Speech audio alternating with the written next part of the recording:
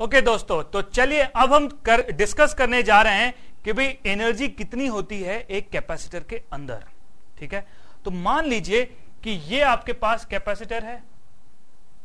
Fine ये रहा capacitor इसमें आपने चार्ज दे दिया स्मॉल क्यू यहाँ पे और यहाँ आ गया माइनस क्यू तो पोटेंशियल डिफरेंस कितना है? पोटेंशियल डिफरेंस है Q by C where C is the capacitance of this fine तो अगर ये पोटेंशियल डिफरेंस है और मैं इसमें स्मॉल चार्ज क्यू डालूं तो क्या होगा? स्मॉल अगर ये पोटेंशियल डिफरेंस है और अगर मैं स्मॉल चार्ज डी क्यू और इसमें डालूं मतलब कि अगर मैं इसको क्यू प्लस डी क्यू कर दूँ और ये minus of Q plus D Q हो जाए कितना पोटेंशियल एनर्जी ये गेन करेगा? पोटेंशियल एनर्जी जो गेन करेगा वो होगा v into D Q fine क्योंकि इतना तो मुझे वर्क करना पड़ेगा राइट तो इतना वर्क कर रहूँगा मैं तो मेरे पास इस तरह का एक्सप्रेशन आ जाएगा. Q D Q by C this is small amount of work done to increase the charge of capacitor by D Q further fine total work done क्या होगा? भाई, ये चार्ज क्यू जो है, ये भी तो धीरे धीरे बिल्ड हुआ है राइट तो ज़ीरो से लेकर टोटल चार्ज कैपिटल क्यू अगर बिल्ड होता है तो कितनी एनर्जी होगी? वो निकालना है हमें। तो टोटल एनर्जी निकालने के लिए हमें टोटल वर्क डन निकालना पड़ेगा और टोटल वर्क डन निकालने के लिए हमें डी डब्ल्यू को इंटीग्रेट करना पड़ेगा। फाइन जो कि हो जाएगा Q D Q by C मैं गया हूँ ज़ीरो से लेकर कैपिटल क्यू तक। So, this will be 1 by C Q square by 2. So, energy in a capacitor is Q square by 2C. Fine और जब आप Q is equal to CV use करेंगे, तब आप पाएँगे कि सेम चीज़ इस तरह से भी आप लिख सकते हैं ये आएगी आपके पास half C V square and this will also be equal to Q into V divided by fine तो इस तरह से आप energy in a capacitor find out कर सकते हैं।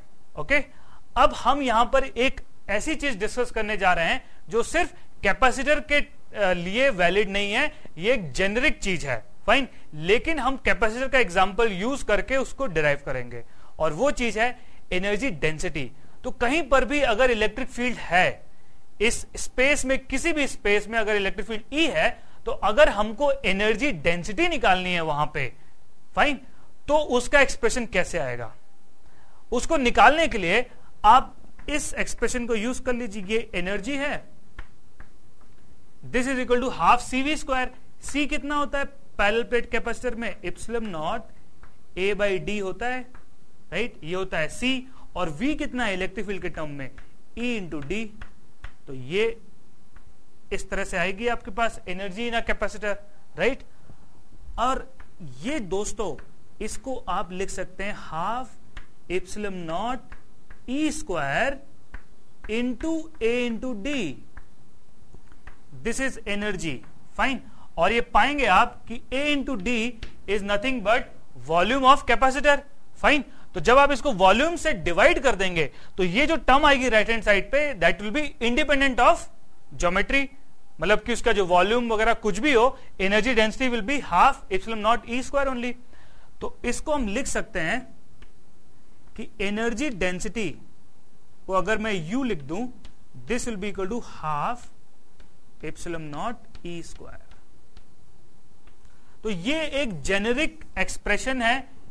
फाइन कहीं पर भी अगर इलेक्ट्रिक फ़ील्ड ई एग्जिस्ट कर रही है, वहाँ पर energy density half epsilon naught E square होगी ही। ओके?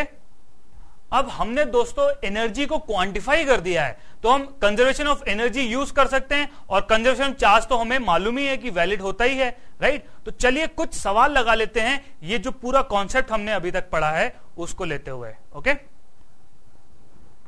तो मान लीजिए कि आपके पास एक कैपेसिटेंस है ऑफ़ वैल्यू सी फाइन इसको आपने एक बैटरी से पहले चार्ज कर लिया, ठीक है?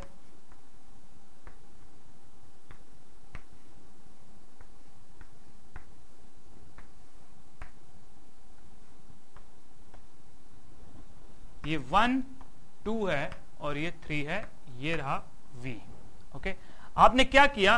पहले वन और टू को कनेक्ट कर दिया राइट तो उससे होगा क्या?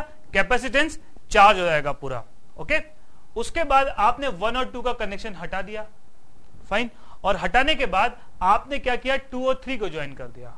फाइन तो इस प्रोसेस में कितना एनर्जी जो है रिलीज़ हुई as a form of heat ये आपको निकालना है।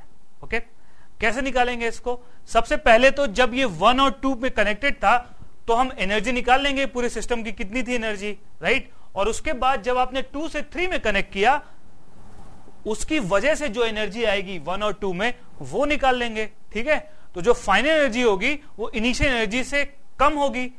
फाइन और जितना कम होगी, उतनी एनर्जी वो हीट के फॉर्म में बाहर रिलीज़ कर देगा। फाइन तो चलिए अब हम इसको लगाते हैं। राइट अगर ये वन और टू कनेक्टेड रहते तो C1 के अक्रॉस पोटेंशियल डिफरेंस V था तो एनर्जी जो है, हम आराम से निकाल सकते हैं। U1 will be equal to half C one into V square तो ये है आपकी इनिशियल एनर्जी बट अगर आप इसको हटा के जब टू और थ्री कनेक्ट कर दे रहे हैं तो क्या होगा? तो भाई, यहाँ पे जितना भी चार्ज था दोस्तों, मान लीजिए प्लस क्यू चार्ज था, ये थोड़ा सा यहाँ पे भी ट्रांसफ़र हो जाएगा इस प्लेट में राइट तो पोटेंशियल डिफरेंस C1 के अक्रॉस V नहीं रह जाएगा। तो आप ये एनर्जी नहीं लिख सकते हैं। Potential will be changed now okay लेकिन यहाँ पे मान लीजिए after connection plus Q1 charge रह जाता है और यहाँ पे प्लस Q2 आ जाता है तो क्या मैं चार्ज के टर्म में कुछ रिलेशन लिख सकता हूँ? बिल्कुल चार्ज तो कंजर्व होगा ही तो Q1 plus Q should be equal to जो इनिशियल चार्ज था राइट और इनिशियल चार्ज क्या था कैपेसिटर में? ये V के अक्रॉस कनेक्टेड है C1 तो this should be equal to C one into V isn't it और ये दोनों कैपेसिटर पैरेलल में कनेक्टेड है और क्योंकि ये पैरेलल में कनेक्टेड है दोस्तों पोटेंशियल डिफरेंस इसके और इसके अक्रॉस सेम होगा। तो ये इक्वेशन भी वैलिड है कि भाई Q1 one by C one will be equal to Q two by C two right तो यहाँ से मेरा Q2 जो आएगा, वो आएगा Q1 times C two by C one right फिर इसको यहाँ सब्सिट्यूट अगर मैं कर दूँगा तो मेरे पास आएगा Q1 one plus Q one times C two by C one is equal to C one V right so Q one C one plus C two divided by C one is equal to C one V so Q one जो आपका आएगा वो C one square V divided by C one plus C two आएगा। ठीक है? और Q to कितना हो जाएगा? Q2 हो जाएगा C1 C2 V divided by C1 plus C2 है कि नहीं? Q2 is Q1 times C2 by C1 तो ये आ गया Q2 फाइन जब आप Q1 प्लस Q2 करेंगे तो C1 भी आना चाहिए। तो बिल्कुल सही है वो। फाइन और अब एनर्जी कैसे निकालेंगे? एनर्जी जो पहले कैपेसिटर में है वो हो जाएगी मेरी Q1 one square by two C one fine और एनर्जी तो दूसरे कैपेसिटर में है दोस्तों, वो हो जाएगी Q two square by two C two right इसको मैं यू नॉट लिख देता हूँ इनिशियल एनर्जी तो जो चेंज इन एनर्जी आई दोस्तों, वो हो गई यू नॉट भाई, इसमें तो एनर्जी थी नहीं पहले. तो यू नॉट हो गई, जो भी एनर्जी यहाँ थी, वही टोटल एनर्जी थी. Minus U one plus U two तो इतनी एनर्जी बदल गई और जो भी बदलाव आया एनर्जी का, वो as a form of heat release हो गई। ओके और एक और सवाल लिख लीजिए आप कि भाई, अगर ये कैपेसिटर है, ठीक है, ये कनेक्टेड है एक बैटरी से C1 है पोटेंशियल डिफरेंस V है फाइन तो इसमें एनर्जी कितनी है इनिशियली एनर्जी है half C one into V square. ये आपकी इनिशियल एनर्जी है। फाइन ओके अगर मान लीजिए इसके अंदर मैं एक डायलेक्ट्रिक डाल देता हूँ of dielectric constant K fine तो एनर्जी कितनी होगी? पोटेंशियल डिफरेंस तो वी ही रहेगा, क्योंकि that is the potential difference between the plates of the capacitor वही तो मैं बाहर से लगा रहा हूँ राइट right? लेकिन capacitance is now K times C isn't it जब भी मैं एक डायलेक्ट्रिक डालता हूँ एक कैपेसिटर के अंदर तो उसका जो कैपेसिटेंस है के टाइम्स द अर्लियर वैल्यू हो जाता है। Fine so energy finally will be equal to what half K times C one into V square